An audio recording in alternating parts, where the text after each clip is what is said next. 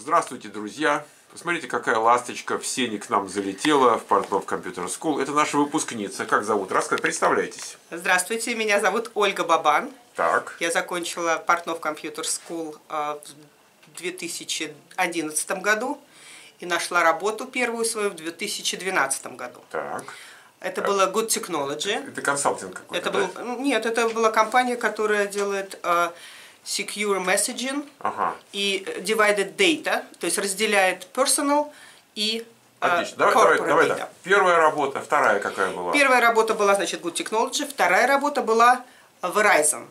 Ну, это гигантская Это гигантская компания. Мы занимались э, разработкой э, нового телевизора. Э, Вот, и там был и DVR, Смарт ТВ такой. Smart TV.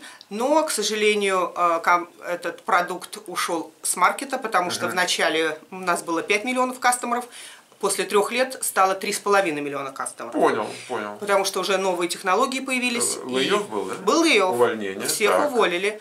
Вот. И я начала искать новую работу. И нашла ее в Apple. Долго искал-то?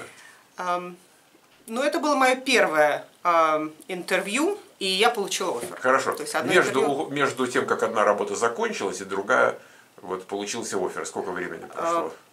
Два с половиной месяца. Э, э, Не очень интенсивно искала или... Но Ну, я уже сразу нашла. Я просто у меня, у меня долго был бэкграунд-чек. То есть у меня было увольнение 15 января, а, потом я была на интервью 28 а, а, февраля, и вот я начинаю работать на следующей неделе. Да, то есть занимает время. слушай. Занимает время, да. Ну хорошо, но я хочу сказать, что там э, ручку нашей девушки позолотили.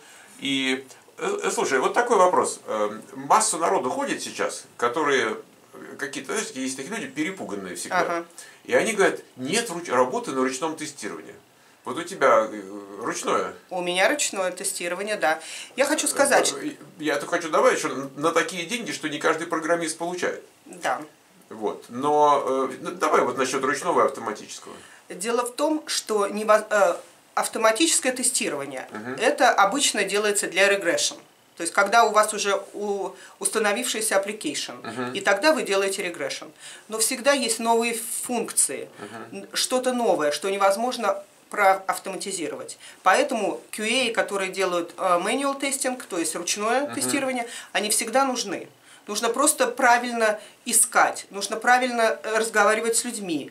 Даже если требуются э, automation инженеры, QA инженеры, вы можете спросить, а может быть вам нужны и э, ручные тестировщики, которые будут делать тест-кейсы. А вот такой вопрос. Вот ты идешь через рекрутеров или прямо напрямую в компании с менеджерами, как получается? Мне получи- у меня получилось так, что я э, напрямую с рекрутером компании. А, ну то есть На фактически... конференции познакомилась. А. Надо ходить по конференциям. То есть ну, то, что- тот самый нетворкинг, который... Тот самый нетворкинг, абсолютно.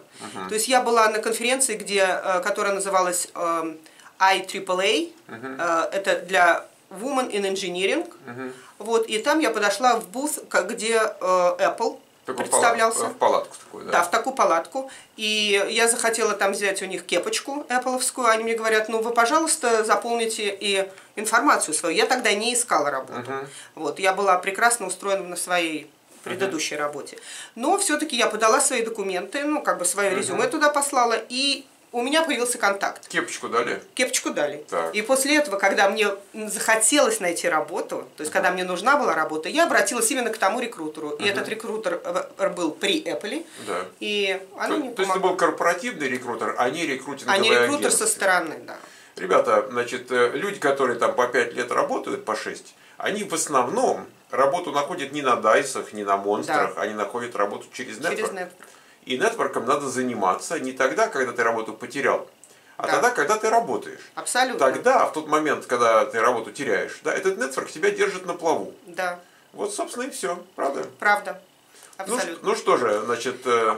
э, э, И, и еще совет. Так, вот, давай, Обязательно. давай. Вот перед тем, как пройти телефонное интервью, а потом как пройти э, интервью in он-сайт, то есть в компании, Да. обязательно прослушайте видео, которое записывает Михаил на своем веб-сайте.